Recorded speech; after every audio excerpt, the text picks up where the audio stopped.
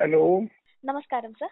നമസ്കാരം. സർ ഇപ്പം കോവിഡ് നയന്റീന്റെ സാഹചര്യത്തിൽ നമ്മളെല്ലാം ലോകം മൊത്തം ഒരു വലിയ സങ്കീർണ അവസ്ഥയിൽ കൂടെ കടന്നുപോയിക്കൊണ്ടിരിക്കുകയാണ് സർ. ഇപ്പം ഈ അവസ്ഥയിൽ എന്താണ് സർ? തൃശ്ശൂരിലെ ഒരു അവസ്ഥ എന്താണ്? പത്രസമ്മേളനത്തിൽ മുഖ്യമന്ത്രി പറഞ്ഞത് ഒരു പരിധിവരെ നമുക്ക് കേരളത്തിന് അതിജീവിക്കാൻ സാധിക്കുന്നുണ്ട് എന്നാണ്. അപ്പൊ എന്താണ് തൃശ്ശൂരിലെ ഒരു നിലവിലുള്ള ഒരു അവസ്ഥ എന്താണ്? തൃശ്ശൂരിൽ നിന്ന് ഞാനിപ്പോ ജില്ലാ കളക്ടറും തൃശ്ശൂരിലുള്ള വിദ്യാഭ്യാസ മന്ത്രിയും ചാലക്കുടി എം പി അതേപോലെ ഗവൺമെന്റ് ചീഫും വടക്കാഞ്ചേരി എം എൽ എ ഉൾപ്പെടെയുള്ള ഞാനടക്കമുള്ള ജനപ്രതിനിധികളും തൃശൂർ ജില്ലാ medical officer medical college principal അടക്കമുള്ള ആരോഗ്യ വകുപ്പിലെയും വിവിധ വകുപ്പിലെയും ഉന്നത ഉദ്യോഗസ്ഥന്മാരുമായുള്ള റിവ്യൂ മീറ്റിംഗ് കഴിഞ്ഞിട്ടാണ് ഞാനിപ്പോ തൃശ്ശൂർ കളക്ടറേറ്റിൽ നിന്നും പുറത്തേക്ക് വന്നത്.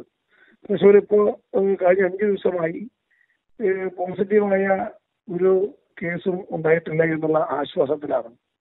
കേരളത്തിൽ ആദ്യമായി ഒരു ഇന്ത്യയിൽ തന്നെ ആദ്യമായി കോവിഡ് റിപ്പോർട്ട് ചെയ്യപ്പെട്ട സ്ഥലമാണ് തൃശൂർ അത് വിദേശത്ത് നിന്ന് ജയിലിൽ നിന്ന് വന്ന ഒരു വിദ്യാർത്ഥിനിക്കായിരുന്നു കോവിഡ് അന്ന് റിപ്പോർട്ട് ചെയ്യപ്പെട്ടത്. അതിനുശേഷം ഉണ്ടായിട്ടും ഇതേപോലെ തന്നെ പലതും വിദേശവുമായി ബന്ധപ്പെട്ട നിരവധി പേർക്കായിരുന്നു പക്ഷെ വളരെ ചിട്ടയോടുകൂടിയ പ്രത്യേകിച്ചും തൃശ്ശൂർ മെഡിക്കൽ കോളേജും ജില്ലാ മെഡിക്കൽ ഓഫീസറുടെ നേതൃത്വത്തിലുള്ള ആരോഗ്യ വകുപ്പ് പ്രവർത്തകന്മാരും ജില്ലാ കളക്ടർ നേതൃത്വം കൊടുക്കുന്ന മറ്റ് വിവിധ ഡിപ്പാർട്ട്മെന്റുകളും എല്ലാം നടത്തിയ ഒരു കോർഡിനേഷന്റെ ഭാഗമായി വളരെ സൂക്ഷ്മതയോടുകൂടി കൂടെ സാമൂഹ്യ അകലം പാലിച്ചും കൃത്യത പാലിച്ചും നടത്തിയതിന്റെ ഇടപെടലിന്റെ ഭാഗമായി കഴിഞ്ഞ അഞ്ച് ദിവസമായി തൃശ്ശൂരിൽ നിന്നും ഒരു പോസിറ്റീവായ കേസും റിപ്പോർട്ട് ചെയ്യപ്പെട്ടിട്ടില്ല എന്നൊരു ആശ്വാസത്തിലാണ് ഞങ്ങൾ ഇരിക്കുന്നത്. എങ്കിലും ഞങ്ങൾ ഇന്നും നീതി കൂടി തീരുമാനമെടുത്ത് വളരെ കരുതലോടുകൂടി തന്നെ എല്ലായിടത്തും ജാഗ്രത പുലർത്തണം. നിലവിലുള്ള ജാഗ്രതയിൽ ഒരു കുറവ് കുറവ് വരുത്താൻ പാടില്ല. നമ്മൾ തൃശ്ശൂരായാലും കേരളമായാലും ഇന്ത്യയിലായാലും നാം എടുക്കേണ്ടത് പിന്നെ ഗവൺമെന്റുകൾ എടുത്ത വളരെ ആലോചനയോടുകൂടി എടുത്ത തീരുമാനത്തിന്റെ അടിസ്ഥാനത്തിൽ ലോക്ക്ഡൌൺ കണ്ടിന്യൂ ചെയ്യുക. അത് ഈ ഈ അകലം കൃത്യമായും പാലിക്കുക. അനാവശ്യമായ സഞ്ചാരങ്ങൾ നമ്മൾ ഒഴിവാക്കുക. പിന്നെ എന്തെങ്കിലും സിംറ്റം വരുമ്പോൾ നേരെ ആശുപത്രിയെ സമീപിക്കുക. ആവശ്യമായ പരിശോധനകൾ നടത്താം. ഈ പരിശോധനകൾ നടത്തുവാൻ വേണ്ടിയുള്ള എല്ലാ ക്രമീകരണങ്ങളും ചെയ്തിട്ടുണ്ട് ഞാൻ തന്നെ എന്റെ എം പിയുടെ പ്രാദേശിക വികസന ഫണ്ടിൽ രണ്ടു കോടി അഞ്ച് ലക്ഷം രൂപ കൊറോണ പ്രതിരോധത്തിന് വേണ്ടി കൊടുത്തു. റാപ്പിഡ് റാപ്പിഡ് ടെസ്റ്റ് കിറ്റ് വാങ്ങാൻ വേണ്ടി ഒരു കോടി രൂപയാണ് ഇന്നലെ തൃശ്ശൂർ ജില്ലാ കളക്ടർ പ്രത്യേകമായും ഭരണാനുമതി നൽകി ഏൽപ്പിച്ചിട്ടുണ്ട്. ഇതുപോലെ ഞങ്ങളെ പോലെയുള്ള എല്ലാ ജനപ്രതികളും പൊതുപ്രവർത്തകന്മാരും കൂടി ഒരുമിച്ച് നിന്നുകൊണ്ട് ഇതിനകത്ത് രാഷ്ട്രീയോ വേറെ മതജാതി പരിഗണനകളോ ഒന്നുമില്ലാതെ എല്ലാവരും കൂടി ഒരുമിച്ച് നിന്നുകൊണ്ട് നടത്തുന്ന ഈ കഠിനാധ്വാനം തൃശ്ശൂരിന് ഗുണമുണ്ടാകും കേരളത്തിന് ഗുണമുണ്ടാകും. അതേ മാതൃക ഇന്ത്യയിലെ എല്ലാ സംസ്ഥാനത്തും തുടർന്നാൽ തീർച്ചയായും നമ്മളിതിനെ ഇതിനെ ഉറപ്പായും വളരെ കരുതലോടുകൂടി അത് ജീവിക്കും. സർ ഈ റാപ്പിഡ് ടെസ്റ്റുകൾ ഇപ്പോൾ കാര്യക്ഷമമായി എല്ലായിടത്തും നടത്തുന്നുണ്ടോ സർ? ഈ റാപ്പിഡ് ടെസ്റ്റിന്റെ ഒരു എന്തൊക്കെയാണ് അതിന്റെ ബെനിഫിറ്റ്സ് എന്തൊക്കെയാണ് സർ ഈ റാപ്പിഡ് ടെസ്റ്റിന്റെ? റാപ്പിഡ് ടെസ്റ്റ് എല്ലായിടത്തും ആരംഭിച്ചിട്ടില്ല.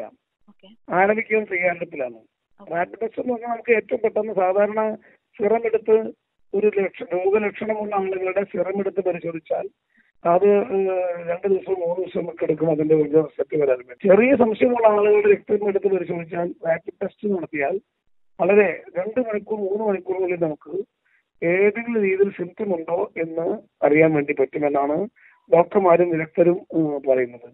അതിനാവശ്യമായ മെഡിക്കൽ സംവിധാനങ്ങൾ ഉണ്ടാക്കണം. അതിന് പൂനെയിലെ നമ്മുടെ ഇൻസ്റ്റിറ്റ്യൂട്ടിൽ നിന്നും അത് കൊണ്ടുവരാൻ വേണ്ടിയുള്ള സംവിധാനം ഉണ്ടാക്കുന്നുണ്ട്. മറ്റു പല ഏജൻസികളും ബന്ധപ്പെടുന്നുണ്ട്. ജില്ലാ മെഡിക്കൽ ഓഫീസറും മെഡിക്കൽ കോളേജ് പ്രിൻസിപ്പളും മാരും ജില്ലാ കളക്ടറും. ഇത് മൂന്ന് പേരും ഇതിന്റെ സാങ്കേതികമായ വൈറോളജിയുമായി ബന്ധപ്പെട്ട ടെസ്റ്റുകളുമായി ബന്ധപ്പെട്ട സാങ്കേതിക വിദ വൈദഗ്ധ്യമുള്ളവരുമായി ആലോചിച്ചിട്ടാണ് ഇത് കൃത്യമായി പർച്ചേസ് ചെയ്യുന്നത്.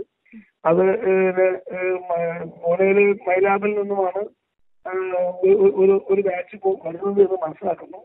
ഏതായാലും തിരുവനന്തപുരത്തായാലും തൃശ്ശൂരായാലും ഒരു കൊച്ചിയിലായാലും മറ്റുള്ള സ്ഥലങ്ങളിലും അതിനുള്ള പണം ഓൾറെഡി ഞങ്ങൾ എം പിമാർ കൊടുത്തു കഴിഞ്ഞു. ഇതിനുള്ള ക്രമീകരണങ്ങൾ അത് ഞങ്ങളല്ലത് നിർവഹിക്കേണ്ടതും നിശ്ചയിക്കേണ്ടതും.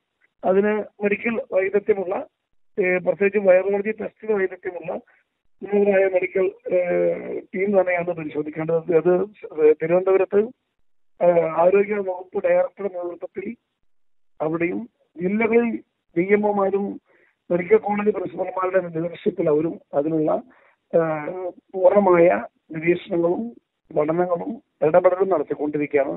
ഒരു പക്ഷേ നാളെയും മറ്റന്നാളും ഒക്കെ ആയി രണ്ട് രണ്ട് മൂന്ന് ദിവസങ്ങളിൽ നമ്മുടെ സംസ്ഥാനത്തും ഈ റാപ്പിഡ് ടെസ്റ്റ് കിറ്റുകൾ എത്തി ടെസ്റ്റ് ആരംഭിക്കാൻ വേണ്ടി പറ്റും. സർ ആരോഗ്യ പ്രവർത്തകരുടെ സേഫ്റ്റി അതും ഒരു വലിയ ആശങ്കയുള്ള ഒരു കാര്യമാണല്ലോ. കാരണം അവർ അവരുടെ ഫുൾ ടൈം എടുത്തിട്ട് രോഗികളുടെ കൂടെ സ്പെൻഡ് ചെയ്യുന്നു. അവരാണ് ഏറ്റവും റിസ്കിൽ വർക്ക് ചെയ്യുന്നവർ അപ്പൊ തൃശ്ശൂരിലെ ഹോസ്പിറ്റലുകളിൽ ആരോഗ്യ പ്രവർത്തകരുടെ സേഫ്റ്റി എത്രത്തോളം ഉറപ്പുവരുത്താൻ സാധിക്കുന്നുണ്ട് സർ? അവർ എത്രത്തോളം സേഫ് ആണ് വലിയ വലിയ വലിയ കഠിനാധ്വാനമാണ് നമുക്ക് എത്ര എങ്ങനെ പറഞ്ഞാലും വാക്ക് മതിയാവില്ല.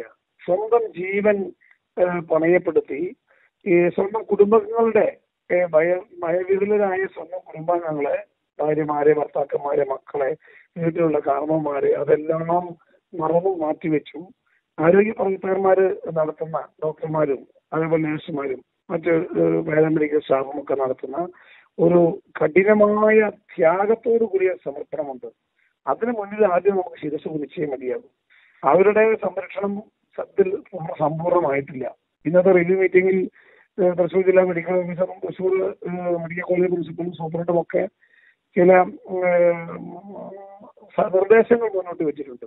ആ നിർദ്ദേശപ്രകാരമുള്ള സൗകര്യങ്ങളും എക്യുപ്മെന്റ്സും ഉണ്ടാക്കണം. ആ സൗകര്യങ്ങളും എക്യുപ്മെന്റ്സും ഉണ്ടാക്കുന്നതിന് അടിയന്തര നടപടി സ്വീകരിക്കാൻ ഞങ്ങൾ ജില്ലാ കളക്ടറോട് പറഞ്ഞിട്ടുണ്ട്. പണമൊന്നും അതിന് തടസ്സമാകേണ്ടതില്ല. പണം ഏത് മേഖലയിൽ നിന്നായാലും പണം എം പി ഫണ്ടായാലും സർക്കാർ ഫണ്ടായാലും മറ്റ് ഫണ്ടുകൾ കൊടുത്തിട്ടായാലും ഞങ്ങൾ അത് നിർവഹിക്കുമെന്ന് പറഞ്ഞിട്ടുണ്ട് പറഞ്ഞിട്ടുണ്ട്. ആരോഗ്യ പ്രവർത്തകന്മാർക്ക് ചില ആശങ്കകളുണ്ട്. അവർക്ക് കാരണം ലോകം ഇന്ത്യയിലും പിന്നെ ലോകത്തിന്റെ പല ഭാഗത്തും ഡോക്ടർമാർക്കും ആരോഗ്യ പ്രവർത്തകന്മാർക്കും ഈ കോവിഡ് സ്ഥിരീകരിച്ചു വരുന്നു. അത് അത് അതിൽ തന്നെ മരണം സംഭവിച്ചുകൊണ്ടിരിക്കുന്നു. അതെല്ലാം മുന്നിൽ കണ്ടുകൊണ്ട് അവരുടെ ആശങ്ക കൂടി അകറ്റി അവരെ പൂർണമായും സേഫ് ആൻഡ് സേഫ് സേഫാക്കി അവരെ കൊണ്ടുപോകണം. അത് മാത്രമല്ല അവരെ പൂർണ തൃപ്തരും സേഫുമാക്കി കൊണ്ടുപോകണം. അതിനാണ് ഞങ്ങളുടെ ഈ രോഗികൾക്ക് റാപ്പിഡ് ടെസ്റ്റ് കിറ്റ് കൊടുക്കുന്നതോടൊപ്പം തന്നെ ആരോഗ്യ പ്രവർത്തകർക്ക് വേണ്ട എല്ലാ കവചങ്ങളും സംരക്ഷണ കവചങ്ങളും കൊടുക്കാൻ വേണ്ടി ഞങ്ങൾ തീരുമാനമെടുത്തിട്ടുണ്ട്. സർ അതുപോലെ തന്നെ ഇപ്പം എം പി സാലറിന്ന് ഒരു തേർട്ടി പെർസെന്റേജ് ദുരിതാശ്വാസ നിധിയിലേക്ക് കൊടുക്കുന്ന കാര്യം അതുപോലെ തന്നെ എം പി ഫണ്ട് വിനിയോഗിക്കുന്ന കാര്യം അങ്ങനെ ഒരു തീരുമാനം വന്നല്ലോ സർ അതേപറ്റി എന്താണ് സർ പറയാനുള്ളത്? എം പിമാരുടെ ശമ്പളം മുപ്പത് ശതമാനം വെട്ടി കൊടുക്കാൻ തീരുമാനിച്ച സ്വാഗതമാണ്. അതിനെയും നൂറ് ശതമാനം എം പിമാരുടെ സാലറി ഈ കോവിഡ് പ്രതിരോധത്തിന്റെ പ്രവർത്തനം പൂർത്തിയാകുന്നത് വരെ എം പിമാരുടെ മുഴുവൻ സാലറി ഗവൺമെന്റ് കോവിഡ് പിന്നെ പ്രതിരോധ പ്രവർത്തനത്തിൽ എടുക്കാൻ വേണ്ടി തീരുമാനിച്ചു. ഞാൻ അതിനെ സ്വാഗതം ചെയ്യും. ഞാൻ വളരെ പാവപ്പെട്ട ഒരു ദരിദ്ര കുടുംബത്തിൽ ജനിച്ചാണ്. സാധാരണ കുടുംബത്തിലുള്ള ആളാണ്. ഏറെ യാതൊരു തരത്തിലുള്ള വരുമാനവും ഇല്ലാത്ത കുടുംബത്തിലാണ്. പക്ഷേ എന്നെ സംരക്ഷിക്കാനും എന്റെ കുടുംബത്തെ സഹായിക്കാനും എന്നെ സഹായിക്കാനും എന്നെ സംരക്ഷിക്കാനും എന്റെ തൃശൂർ പാർലമെന്റ് മണ്ഡലത്തിലെ ജനങ്ങളുണ്ട്. അവർക്ക് രാഷ്ട്രീയവും മതവും ജാതിയും ഒക്കെ മാറ്റിവെച്ച് അവരെന്നെ സഹായിക്കും. അവർ ഭക്ഷണം കഴിക്കുന്നുണ്ടെങ്കിലും അവർ ജീവിക്കുന്നുണ്ടെങ്കിലും തൃശ്ശൂരിലെ ജനങ്ങൾ എന്നെ ജീവിപ്പിക്കും എന്നുള്ള ഉറപ്പുണ്ട്. അതുകൊണ്ട് സാലറി എം പിമാരുടെ സാലറി മുപ്പത് ശതമാനം എന്നുള്ളത് നൂറ് ശതമാനം ഗവൺമെന്റ് എടുക്കുന്നതിന് എടുത്താൽ അതിനെ സൈനികരുടെ കൂട്ടി സ്വാഗതം ചെയ്യും. ആവശ്യ വികസനം കൊണ്ട് സത്യത്തിൽ പറഞ്ഞാൽ അത് ഗവൺമെന്റ് തിരിച്ചെടുക്കരുത്. ഇന്ന് ഞാൻ കളക്ടറേറ്റിൽ നിന്ന് ഇപ്പോൾ ഒന്ന് ഈ- ആശയം പങ്കുവെക്കുമ്പോൾ രണ്ട് കോടി അഞ്ച് ലക്ഷം രൂപയുടെ ഭരണാനുമതി കൊടുത്തു. രണ്ടായിരത്തി പത്തൊമ്പത് ഇരുപത് സാമ്പത്തിക വർഷത്തെ എന്റെ എൻ പി ഫണ്ട് ഞാൻ അതിന് കൊടുത്ത എല്ലാ ഭരണാനുമതിയും പിൻവലിച്ച് നേരത്തെ കൊടുത്തെല്ലാം പിൻവലിച്ചാണ് ഇതിന് വേണ്ടി ഇപ്പോൾ കൊടുത്തത്. കാരണം ജനങ്ങൾ ജീവൻ രക്ഷിക്കാൻ അതായത് ഏഹ്, തോടുണ്ടാക്കാനും റോഡുണ്ടാക്കാനും അല്ലെങ്കിൽ മറ്റ് സ്ഥാപനങ്ങൾ ഉണ്ടാക്കാനും കൊടുത്ത പണം നേരെ വിഡ്രോ ചെയ്തു. നേരെ ജീവൻ രക്ഷാ പ്രവർത്തനത്തിന് വേണ്ടി കൊടുത്തു. ഇങ്ങനെ ചെയ്യാൻ എം പിമാരൊക്കെ ഫണ്ട് ഉണ്ടെങ്കിലേ ഈ പറ്റൂ. എം പിമാരെ ഫണ്ട് കൈകാര്യം ചെയ്യുന്ന ആരും തെറ്റിദ്ധരിക്കുന്നത് എം പിമാരല്ല. ആ ഫണ്ടിൽ മുട്ട് കളിക്കാൻ എം പിമാർക്ക് ഒന്നാമത്തെ അവകാശമില്ല ജില്ലാ കലക്ടർമാരാണ് അതിന്റെ കസ്റ്റോഡിയൻ. ജില്ലയിലെ പ്ലാനിംഗ് ഓഫീസർമാരാണ് കേന്ദ്ര ഗവൺമെന്റ് കൊടുക്കുന്ന മാർഗനിർദ്ദേശങ്ങൾക്കനുസരിച്ച് ഭരണാനുമതി കൊടുക്കുക. അതിന് നിർമ്മാണമെല്ലാം പൊതുമേഖലാ സ്ഥാപനങ്ങളോ തദ്ദേശ സ്വയംഭരണ സ്ഥാപനങ്ങളോ ഉൾപ്പെടെയുള്ളവയാണ് കൃത്യമായും നിർവഹിക്കുക. അതുകൊണ്ട് ഒരു അതിൽ നിന്ന് ഒരു നയാ പൈസ പോലും ചോർന്നു പോകത്തില്ല. ഒരാൾക്കും ഒരു എം പിക്കോ എം പിയുടെ സുഹൃത്തുക്കൾക്കോ എം പിയുടെ പാർട്ടിക്കാർക്കോ എം പിയുടെ ഒപ്പമുള്ളവർക്ക് ആർക്കും അതിൽ നിന്ന് ഒരു കട്ടൻ ചായ പോലും അർഹിതമായി കഴിക്കാൻ വേണ്ടി കഴിയില്ല. അപ്പൊ അത്രയും സുതാര്യമായി നടക്കുന്ന എം പി ഫണ്ട് വിനിയോഗിക്കുന്നതിന് അതിന് ഗുണമുള്ളത് എവിടെയൊക്കെ പോരായ്മുണ്ട് വികസനം എവിടെ പോരായ്മുണ്ട് ജനങ്ങൾക്ക് എന്തെങ്കിലും എമർജൻസി ആവശ്യമുണ്ടോ? അത് നമുക്ക് കേന്ദ്ര ഗവൺമെന്റിന്റെ മാർഗനിർദ്ദേശങ്ങൾക്ക് വിധേയമായി ചെയ്യാൻ വേണ്ടി പറ്റും. അത് പിൻവലിച്ച് ഗവൺമെന്റിന്റെ സഞ്ചിത നിധിയിലേക്ക് കൊണ്ടുപോയി ആ പണം കേന്ദ്ര ഗവൺമെന്റ് സഞ്ചിത നിധി വഴി ഉപയോഗിക്കുന്നത് സത്യത്തിൽ തെറ്റാണ്. ഇത് വലിയ വലിയ ഗഹനമായ പഠനത്തിന് ശേഷമാണ് ഡോക്ടർ മൻമോഹൻ സിംഗ് ഇന്ത്യയുടെ പ്രധാനമന്ത്രി ആയിരിക്കുമ്പോൾ അന്നത്തെ Congress U P A government M P fund ഇന്ത്യയിൽ കൊണ്ടുവന്നത്. ദയവ് ചെയ്ത് അത് പിൻവലിക്കാനുള്ള രണ്ടു വർഷം പിൻവലിക്കാനുള്ള തീരുമാനം പുനഃപരിശോധിക്കണം അതിന് ഗുണം ഇന്ന് ഈ കോവിഡ് പ്രതിരോധ പ്രവർത്തനം നടക്കുമ്പോൾ കേരളത്തിലെ ജനങ്ങൾക്കെങ്കിലും ബോധ്യമായി കാണും. അതുകൊണ്ടാണ് ഇന്നലെ ബഹുമാനപ്പെട്ട കേരള മുഖ്യമന്ത്രി അദ്ദേഹത്തിന്റെ പത്രസമ്മേളനത്തിൽ ഈ റാപ്പിഡ് കിറ്റ് വാങ്ങുന്നതിന് വേണ്ടി ഒരു കോടി രൂപ കൊടുത്ത എന്നെ എന്നെ പോലും അദ്ദേഹം വ്യക്തിപരമായി അനുമതിക്കാൻ ഇടയായത്. ആരോഗ്യമന്ത്രിയും അതുപോലെ എടുത്തു പറയുകയുണ്ടായി. ഇത് ഏതെങ്കിലും തൃശ്ശൂർ എം പി മാത്രമല്ല കേരളത്തിലെ എല്ലാ എം പിമാരും പാർട്ടികൾക്കൊക്കെ അതീതമായി എല്ലാ എം പിമാർക്കും ഇന്ത്യയിലെ എല്ലാ എം പിമാർക്കും ചെയ്യാവുന്ന കാര്യമാണ്. പക്ഷേ നമ്മുടെ സെൻട്രൽ ഗവൺമെന്റ് ആ ഈ രണ്ട് അടുത്ത രണ്ട് വർഷത്തെ എം പി ഫണ്ട് സഞ്ചിത നിധിയിലേക്ക് കൊണ്ടുപോകാനുള്ള എടുക്കാനുള്ള തീരുമാനം പുനഃപരിശോധിക്കണം എന്നാണ് വളരെ വിനയത്തോടുകൂടി അഭ്യർത്ഥിച്ചിട്ടുള്ളത്. തീർച്ചയായിട്ടും സർ ഇത്രയും വിലപ്പെട്ട വിവരങ്ങൾ നൽകിയതിന് നന്ദിയുണ്ട് sir thank you so much thank you thank you thank you very much